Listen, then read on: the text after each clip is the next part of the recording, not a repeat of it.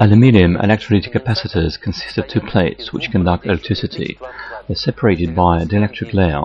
One of the electrodes, called the anode, is made of aluminium foil with an increased effective surface area and covered with a dielectric aluminium oxide layer.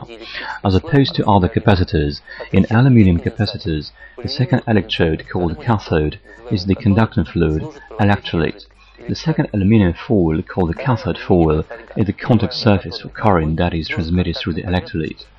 This capacitor structure assures its high volumetric efficiency and maximum allowed pulsating current. It makes it reliable.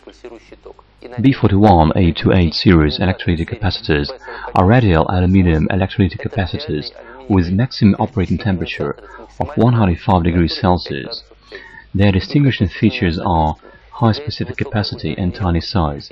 If operated continuously at the maximum temperature of 105 degrees Celsius, the capacitor's guaranteed lifetime is 2000 hours.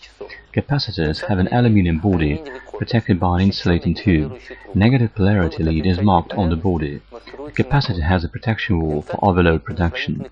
B41828 series capacitors are designed for voltages from 6.3 to 100 volts. They have a wide capacitance range from 0.47 up to 15,000 microfarads. Capacitance tolerance is 20%.